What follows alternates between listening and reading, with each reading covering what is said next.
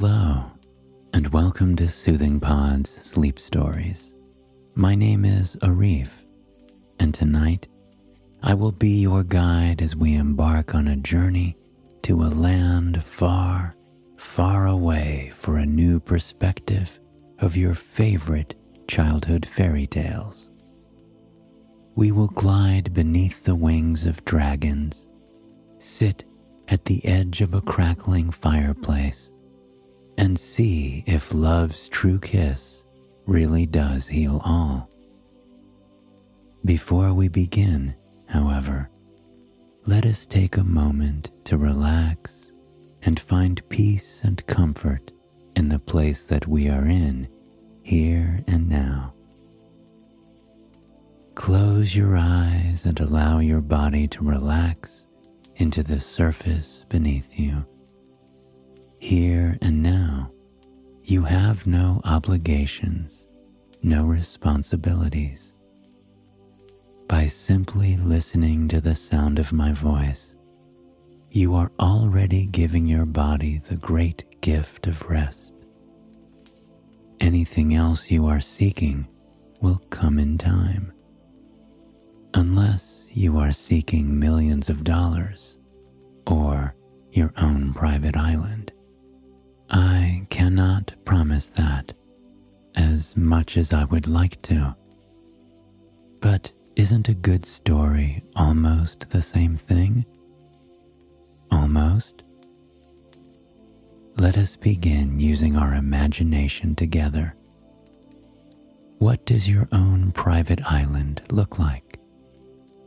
Are there golden sand beaches with turquoise waters lapping against the shore? Perhaps there is no cell phone service, no emails, no connection to the outside world, so you are left with nothing but the peaceful sound of waves brushing up on the sand. The rhythm of the ocean matches the rhythm of your breathing as you exhale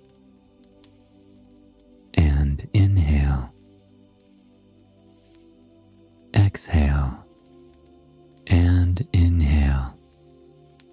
Of course, there's also the unlimited food and snacks at the tiki bar, too. At least, there is on my private island you should try it on your own. With your eyes still closed, turn your attention back to your steady breathing. Breathing is fairly important, after all, and paying attention to it can bring you closer and closer to dreamland, whatever that looks like for you.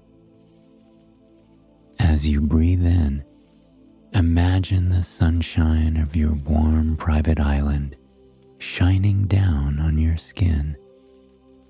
You can feel the toasty rays on your arms, your legs, your torso, and your face, soothing you. As you exhale, a gentle ocean breeze comes, whisking the heat away and leaving you in a state of perfect comfort. You breathe in, feeling the sun and warmth on your legs, your jaw, your face, your torso, even down, down, down to the ends of your fingertips. And then the wind slowly draws it away bringing with it the dreamy aroma of the ocean and distant tropical beaches. You breathe in one more time, feeling that sun on your arms, your legs, your torso, your feet. Then, slowly, the breeze meanders its way toward you, whisking that heat away and leaving you in a place of perfect comfort and peace. Now that we have taken the time to relax and find peace and comfort in the place that we are in, here and now, let us journey to a land far, far, far away and see what magic, beauty, and lessons await us. This isn't your average fairy tale, after all. This is an incredibly boring fairy tale. Perhaps the most boring fairy tale that's ever existed. How interesting can a princess, a dragon, a prince, and a talking moon be? The moon is known for being a bit of a bore.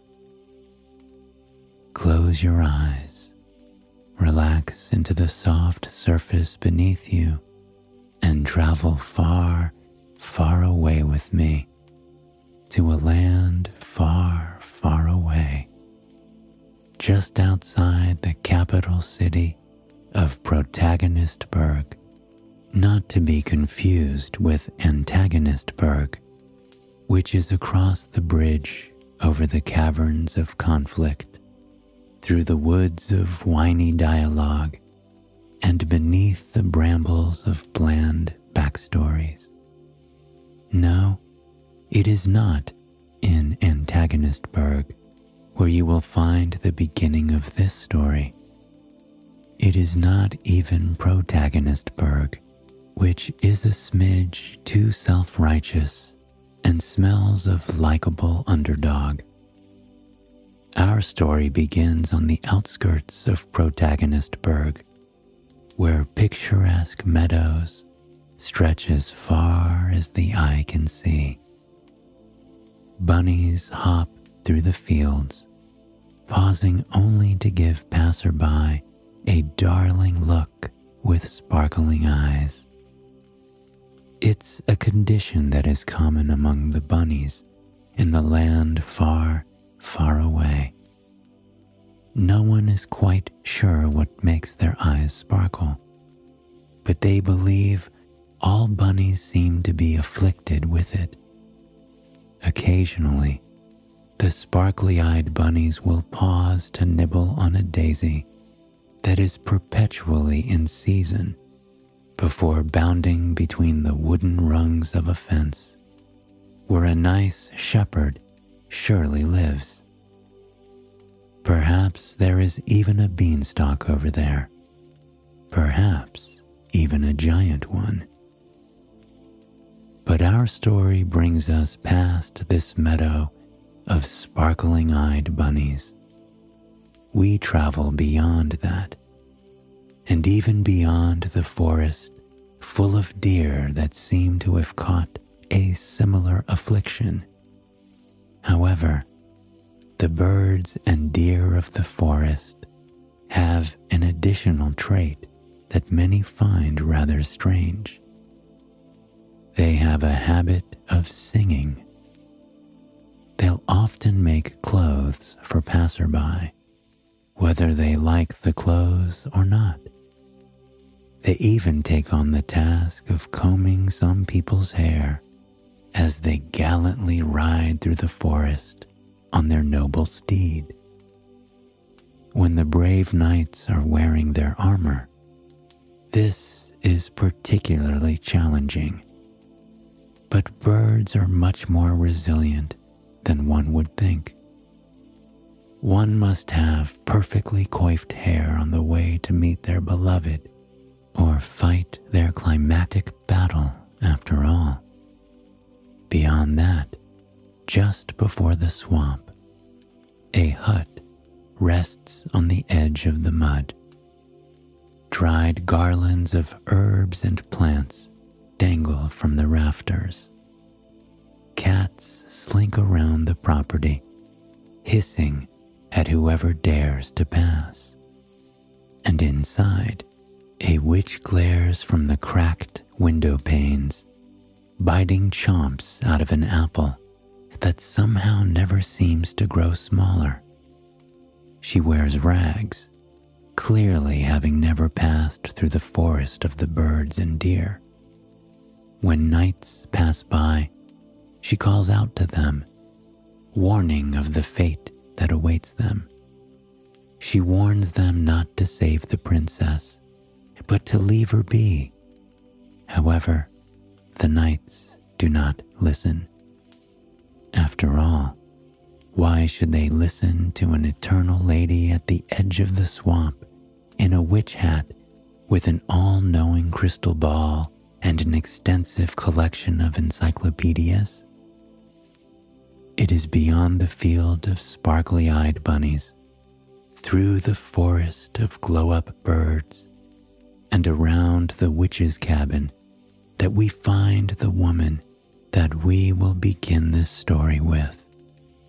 Naturally, she is not in a quaint little home by the water, where she sings about books with her father, who is an inventor. She is not riding down the river in a canoe, singing about the colors of the wind. She is not even caring for her brothers, who have been turned into bears. She is up in a tower. That's right. This is that kind of story. She is a damsel. And by all fairy tale accounts, she is a damsel in grave distress. The tower is but a pillar in the sky, so tall that no one could even dream of possibly climbing it themselves. Even if some brave knight could climb it, it would be nearly impossible to avoid the dragon that has its tail coiled around the base of the tower, where ivy flaps over its ancient scales. The dragon has green scales, but its red eyes are menacing, mean. When people look into them, they dream of nothing more than returning to the meadow of sparkly eyed bunnies, where they can ooh and ah in peace once more. But neither the dragon nor the tower stopped knights from trying, day in and day out. The maiden, the damsel at the top, Princess Blossom, spent most of her days watching knights be snapped at by the dragon, fall into puddles of mud, or never make it past the persistent birds putting bows in their hair. Some were too startled by the sight of satin, having never held anything but metal like their armor or their swords. But why were these knights trying so persistently? Maybe Princess Blossom had asked specifically for them to rescue her or join her company. Or perhaps Princess Blossom had offered them a large sum of money. Perhaps even her family had. It is a pity to spoil this for you, but none of those are the right answer. You see, the knights tried to reach Princess Blossom because they had heard that she was the fairest in all the land. Her parents, a king and queen, boasted about their beloved daughter's appearance, intelligence, and general princessness any time they got a chance. They thought it was a pity that the dragon and tower kept her separated from everyone. They wished someone could bring her down. So, knights tried for weeks, for months. As time chugged along, more and more knights began to try. Then came the fateful week four knights met at the edge of the meadow of sparkling bunnies. They sat with each other over a fire and agreed that one of them was going to be the heroes that rescued Princess Blossom from her lonely fate up in the tower. First, there was Knight Beneford Braggart Boast. He was a handsome knight, by all accounts. He spent much of his upbringing causing noble women to faint when he winked at them, shooting arrows off of people's heads, and kicking back a pint at the local tavern. Simply flexing his muscles could nearly cause an earthquake, so he had to be very careful with his biceps, as all real knights must be. Beneford Braggart Boast had many suitors interested in him, but he couldn't pick any of them. No, he decided that he had to have the best of the best. He had to become engaged to Princess Blossom. He already knew so much about her that he had dreams about her nearly every night. She was beautiful. She was a princess.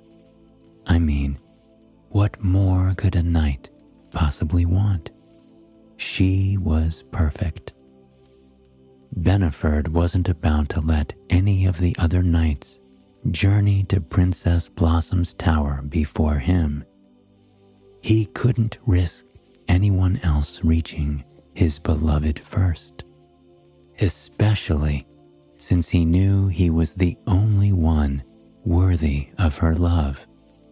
So, as giving of a man as he was, he stepped forward with his sword and stood first, declaring that he was going to head off to collect his bride in order to save the others from the trouble. He was on his horse and riding through the lush meadow before anyone else could react. Beneford had his eye on the prize the moment his horse hit her stride. He could feel the wild wind blowing over his face, filling him with a sense of adventure and belonging. Wildflowers brushed over his handmade leather boots, sending up an aroma that would fill many with a flood of joy. But it was a bit too flowery for Beneford's taste. Riding confidently through fields towards the setting sun was what knights were best at. He didn't want to brag but Beneford Braggart Boast was the best at riding into the setting sun. He was also the best at shooting arrows, winning over women, and slaying dragons. But that shouldn't come as a surprise. For some reason, the braggart boasts like to talk about how they are good at everything it appears that it must be some kind of family curse. Beneford rode through the fields of bunnies without a problem. They gazed up at him with their sparkly eyes, but he deflected them with the only defense he knew his smile. He flashed that beaming smile at the bunnies causing them to fall back in surprise and cover their eyes from the blinding light of his white teeth. It's unknown how Beneford Braggart Boast had such fine teeth at a time without dentists, floss, or even toothpaste, but he would be the first to tell you that he had the finest teeth in all the land. Of course, after, he'd reassure you that he has an obligation to just be honest. Then, Beneford came to his second challenge the forest of stylish birds. He could hear their breathtaking singing before he even reached the tree line. Overhead, willows, birch trees, oak trees, and maples swayed in the gentle breeze. Their green leaves flickered in the light of the sun, casting mesmerizing shadows on the forest floor. If you listened closely, you could even hear the gentle pitter patter of the birds' feet as they flew and landed on branch after branch. They gathered, eager to see what Beneford was doing. He rode through the forest with a sweat on his brow. His massive muscles were tensed and ready for action, ready to meet his one true love. He paid no mind to the shadows on the forest floor, nor the beautiful call of the birds. He was already dreaming about the compliments his wife would be giving him soon enough. The birds floated down from the trees sweet words tumbling from their beaks. They sang of the beauty of the world, the beauty of love and connection. They told Beneford that they were going to make him the best that he could be. Their voices were so sweet it could bring a tear to a statue's eye. And though Beneford had the personality of a statue, he apparently did not have a statue's eye because he was bone dry. The beautiful birds surrounded him. They carried the finest cloth that the land of the far, far away had ever seen. It shined in the light of the slowly setting sun, like each thread was made of gold or silver. Of course, Beneford knew he was a late autumn, so if they tried to put silver on him, he would protest. For you, brave knight, a chickadee chirped. It gracefully swooped down to Beneford with a cape in its beak, ready to wrap it around Beneford's shoulders. Beneford scoffed and brushed the cape aside. I do not need your cape, bird. I have picked the perfect armor to meet my beloved. Just look at my muscles, Beneford scoffed. He flexed his muscles as he glided through the forest on the back of his horse. But the birds seemed unaffected. They shrugged their brightly colored wings at one another. I insist you try the cape, brave knight. We made it special just for you on your quest, a cardinal offered.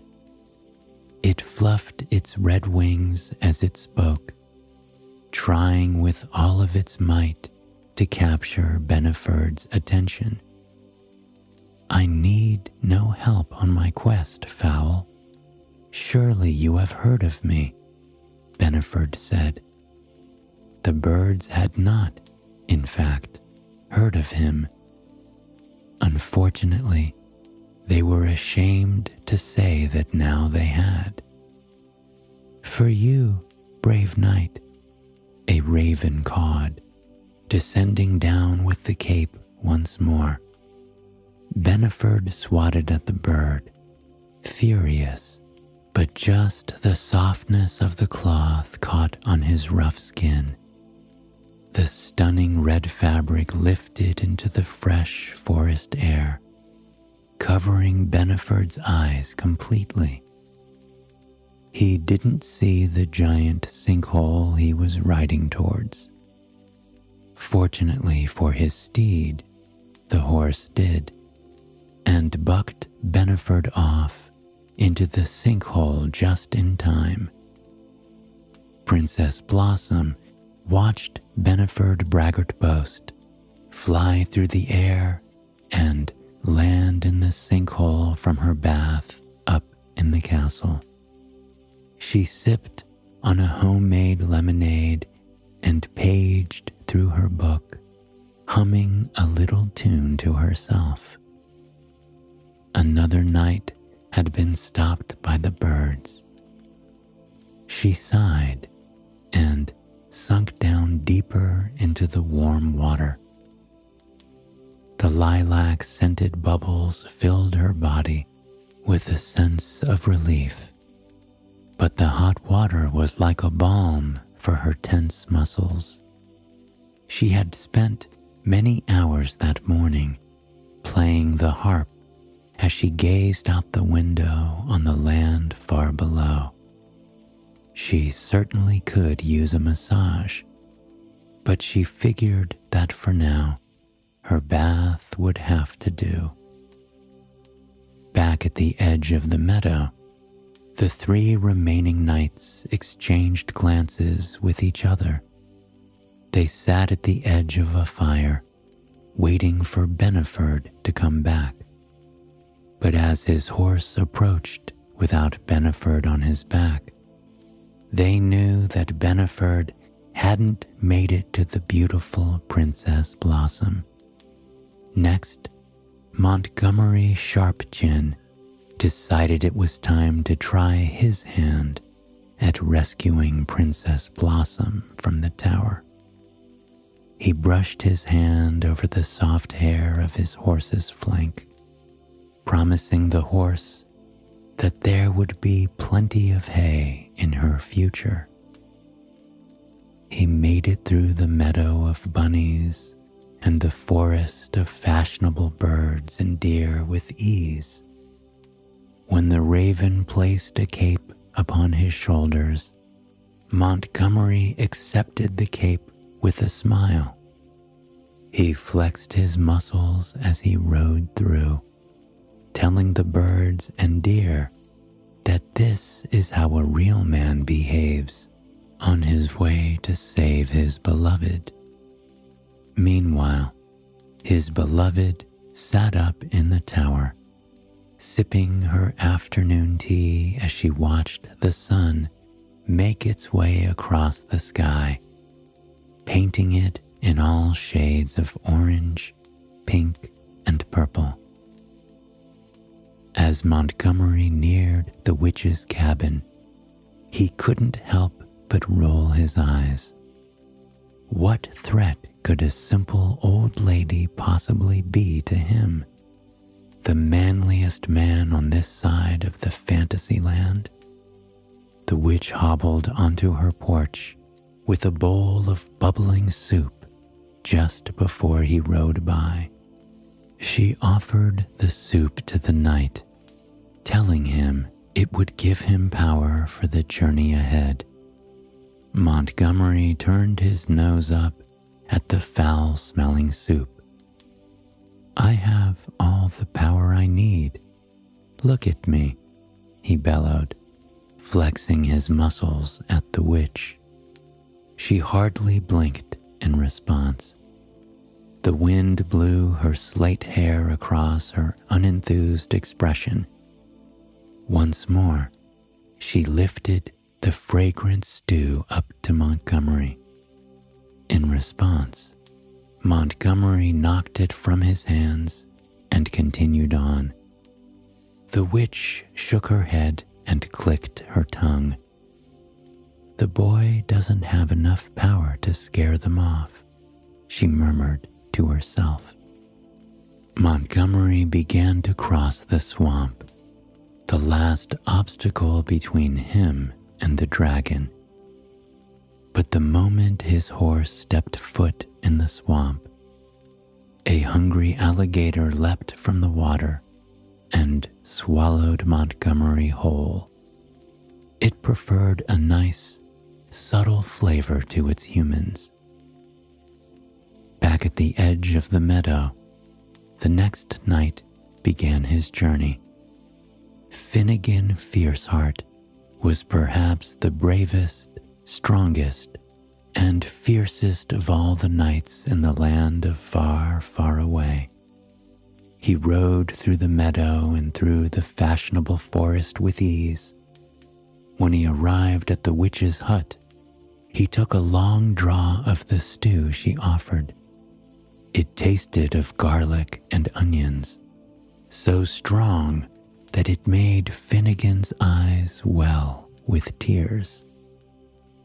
As he began to make his way across the swamp, the hungry alligator rose up out of the water. At the mere smell of the garlic and onions, wafting off of Finnegan Fierceheart's breath, the alligator's eyes began to water. He sank back under the water, disgusted with the power of Finnegan's stench. Finally, someone had made it. At the base of a tower, the dragon slept peacefully. Finnegan smiled to himself. It was a massive beast with scales that sparkled in the light of the setting sun. Little plumes of smoke escaped its lips with every audible snore from its lips. This was Finnegan's chance to slay the beast. He drew his sword with the powerful shing as he raced toward the dragon, the dragon opened an eye. With ease, she lifted a claw, ending Finnegan's attack on her before it had even begun. At the top of the tower, Princess Blossom looked up from the art project she was working on. At the sight of Finnegan on the ground, she clicked her tongue, wondering when these strange men would ever learn. Back at the meadow, a final knight sat by the crackling fire. His amber eyes traced the shape of the flames as he prepared himself for the journey ahead. His name was Noble Kindman. To many, it was a mystery what kind of man he was. They truly had no way of knowing. He mounted his horse after carefully putting out the fire and rode toward the tower, singing a song to himself under his breath. As he passed the sparkle eyed bunnies, he tossed small carrots down to them the bunnies swarmed the carrots, their eyes sparkling brighter than ever. In the forest, he thanked the birds for their contribution as they adorned him with a homemade, well, nest made cape. They even placed a flower crown atop his ginger locks as he waved goodbye to them. When Noble approached the witch's cabin, he asked her how she was doing. The witch was surprised. She told Noble about her day and even accepted his help fixing the spookily creaky step at the bottom of her staircase. As a thank you, she offered Noble a bowl of stew. Truly, he hated onions, but he accepted with a smile and drank the stew anyway. He progressed through the swamp with ease. He waved at the alligator as it rose out of the water, its nose scrunched up in disgust. He called down to it, wishing it luck finding something else to eat. Then Noble stood below the castle. The massive dragon coiled around the base, scowling at Noble with narrowed eyes. I apologize for bothering you, kind dragon. I've come to speak to Princess Blossom. Would that be okay with you? Noble asked, giving the dragon a bow. The dragon smiled at Noble. Oh, you'll have to ask her. I'm just her downstairs neighbor. You wouldn't believe how many people try to just break in here. The dragon chimed nonchalantly. I'll leave you both to it. With that, the dragon that had terrified so many people moseyed off into the forest. Noble stood at the base of the tower, gazing up at it in wonder. He clutched his soft wool hat to his chest, calling up into the cool air. Princess Blossom, I am sorry for bothering you. I wanted to see if you'd like to join me for a walk in the forest this afternoon. My name is Noble Kindman. He heard his words echo back to him, sing songy and inviting.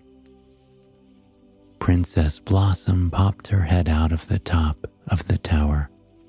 Her long black hair cascaded out of the window but she coiled it in, lock after lock, with a smile on her face.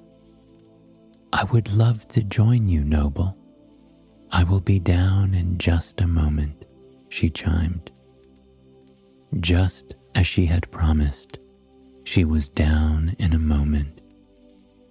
She descended down a hidden set of stairs in the tower and opened a door around the back of the building stepping into the light for the first time in what felt like decades.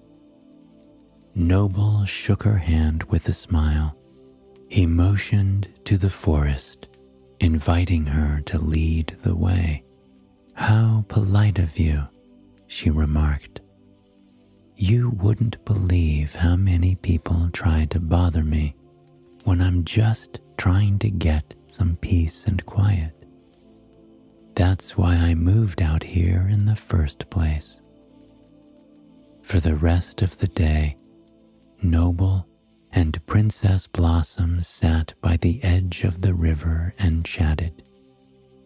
Noble learned about her favorite color, her hobbies, her art. Meanwhile, Blossom learned about his hopes and dreams they agreed to see each other the next day, the same time, the same place.